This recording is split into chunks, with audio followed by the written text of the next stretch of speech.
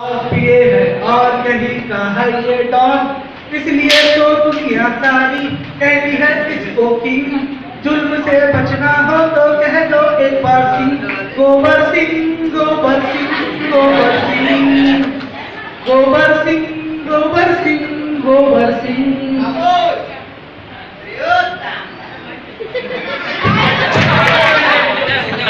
अरे ओ तांबा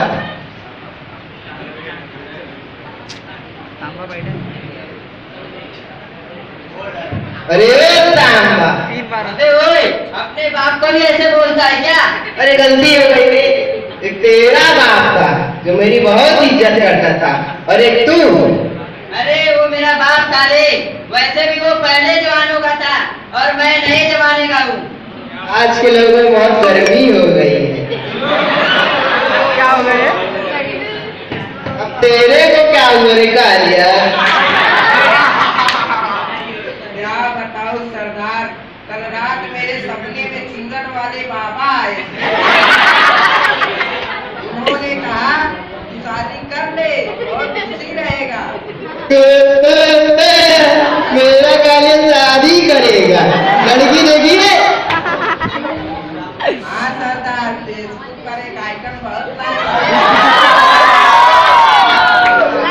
लेकिन डर लगता है क्या करूँ कैसे कहूँ उसको कुछ अब आप ही बताओ सरदार।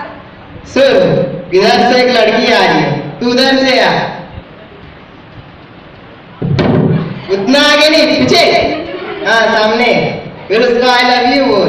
अगर हँसी तो ठीक। अगर गुस्सा करी तो? तो बोला दीदी डर गई दीदी डर गई। समझ गया सरदार। जय चूरन वाले बाबा की। अरे ओ सांबा अपने खजाने में कितने हुए रे। क्या बताऊ सरदार जब से ये नोटबंदी हुआ है साला कोई हफ़्ता ही नहीं देता। सब, सब कहते हैं कि सब ऑनलाइन हो गए हैं। और अपन अभी भी रोकड़े पर ही जी रहे हैं। क्यों है तुम लोगों पर?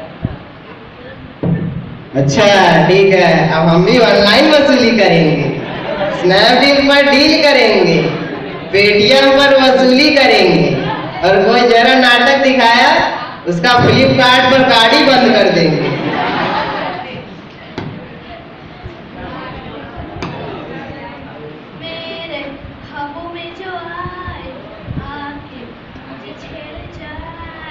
लो मैं आ गया बचना ए हसीनो लोगों पर आ गया तू क्या घूम रहा है बे हाँ? चल अपना काम कर चलेगा ए नज़र नज़र अरे ओ तांबा जरा हाथ तो दे, बहुत करारे है। रामगढ़ वाले कौन सी चटनी का आटा खिलाते हैं रे?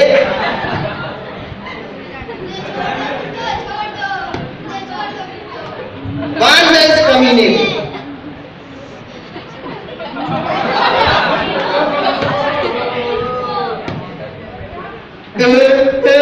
बहुत यार आने लगता है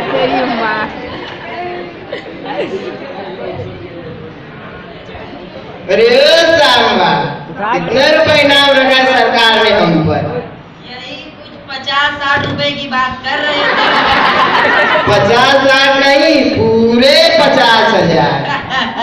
पचास हज़ार? बात करता है। पैसे क्या झाड़ पे उगते हैं? रात में जाकर तू ही एक किलो बढ़ा कर आता है और बात करता है पचास हज़ार की। अरे कभी तो इज़्ज़त किया कर मेरी। अरे तेरी इज़्ज़त क्या?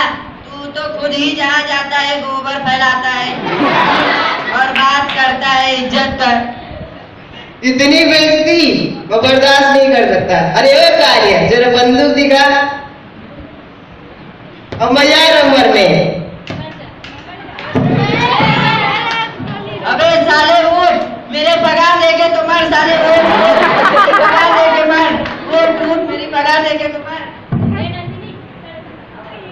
सरदार उठे, सरदार। बहुत अच्छा था मेरा सरदार। खुद नहीं पीता था, लेकिन मुझे पिलाता था। उठो, सरदार, उठो। अब मुझे दारू कौन पिलाएगा? उठो, सरदार, उठो।